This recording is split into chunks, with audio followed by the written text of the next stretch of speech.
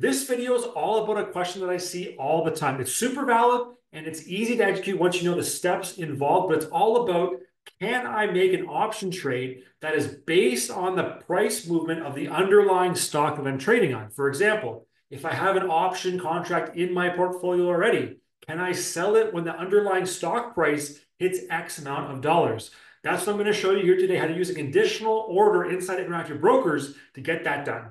In my portfolio, we have some options trade. We're going to look at this Tesla 130 call option that's currently in positive profit. We want to lock this in and close this trade if Tesla's stock price hits a certain level, not the price of the option contract itself. The option contract is currently trading at 134 and change. The price of Tesla is currently right around, well, it's right around 252. So to do this, we would right click on our option contract in our account, assuming we already had one in the hopper that's there live.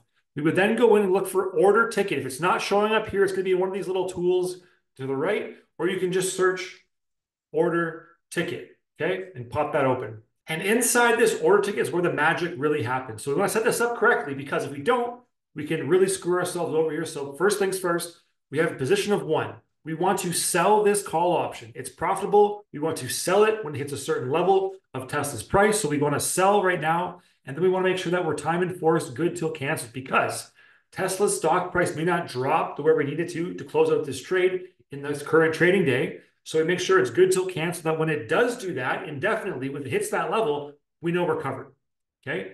This is a now limit order show. We want to change this to a market order in this example. And this is going to automatically fill it as soon as we hit that level for price, which I'm going to show you in a sec. It's going to hit a market order, put it in, and hopefully get it out without much slippage. Next, and this is the key thing here. After this is done, you want to go into conditional. And this is where you add in the underlying uh, requirement for Tesla's stock price to hit a certain level. So what we want to do is hit on add. Okay, we want to go price, go next. Underlying. This is where you pick the underlying stock. And I'm just going to go Tesla right now. It's going to click enter and then go into stock. It's going to populate the Tesla kind of information here. I'm going to go here, just go to last. And now the key, key piece right here, the operator greater than or equal to or less than equal to. We want to go less than equal to because Tesla's stock price, again, it's about 252 right now. We want the price, let's say, to go down to 240. So if Tesla's stock price goes 240, we are going to exit this call option. That's how we're setting this up right now. So finish this, and we can see that the logic is in there now. We just go ahead and click on submit order or transmit down at the bottom. And you can also, if you want to toggle on allow condition to be satisfied, and activate outside regular trading hours. I don't normally use kind of outside trading hours for any of my trading, so I don't think it's really necessary, but do what you want to do. Uh, it's there for you. If you want to click it on, click it on. Okay, we click submit. This will go in the hopper, and now we have that sell order for this call option again at the, again, if we open this up and click it, at that conditional price of 240 for Tesla, okay? If we would have had the operating signs greater than or equal to 240, this would have executed immediately and our position would have been sold off right away, which we don't want to necessarily do. In this case, we want Tesla to kind of work and keep growing up. So we say if it gets back down to 240, then we're okay with it kind of going ahead and selling out and closing off with some profit. Now that's how you set it up for an option trade you already own. What if you want to flip it around now and you want to set up a new options trade based on the underlying stock price and get into a trade when it hits a certain technical level? Well, Let's look at something different here. Let's look at AMD. And AMD's been on a bit of a heater lately, starting to rev up a little bit. Let's say if it goes down to 170, we want to buy a call option. I'm going to go out a little bit in time in my option chain here. Let's go out to August 16th, give a little bit of time to work. If it doesn't actually get down to our 70 or 170 price in that kind of 39 day period, we just wouldn't get the trade executed, so no big deal. But if it does, we have 39 days for this trade to potentially get executed. So what we're going to do here is look for some big volume in this example. I'm going to go right here to this 180 strike price right at the money. And we're going to go boom, right click, order ticket again.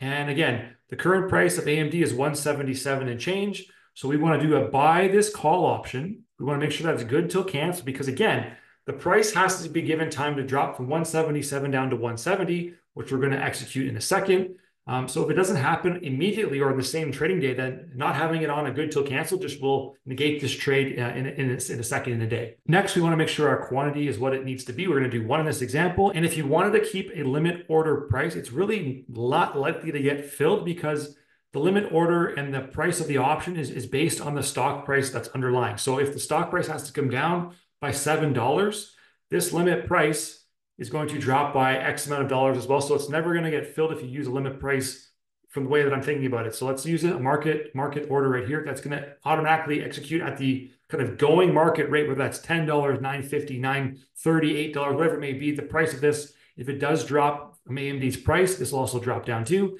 and it'll get filled as a market order. Now that these things are set up, again, we go into condition and we can do the same thing here. We can add a condition for price.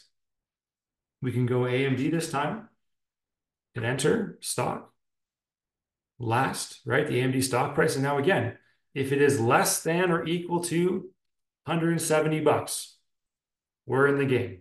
Okay. We're going to transmit this again. And now that's in the hopper, right? So we have an AMD call option 180, August 16th to buy based on people open this up again.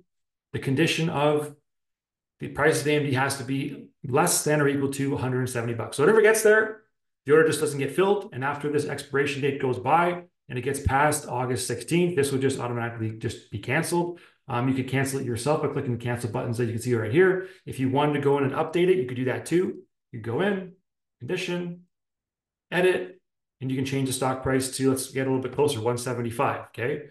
And let's just do this and finish that and update, transmit. And again, now if it hits 175, which is a little bit closer to the current stock price, it's going to go ahead and buy this option for you. So if you have a good idea of what option contract you want to get into, you could go ahead and set this up. It's not really something that I would typically use because I like to make my options trade more live based on kind of live data, not just kind of set it and forget it. But if those of you don't want a huge time commitment, this is a great way to get in and say, hey, when the price of X stock gets to a certain level, I'm going to buy this option contract.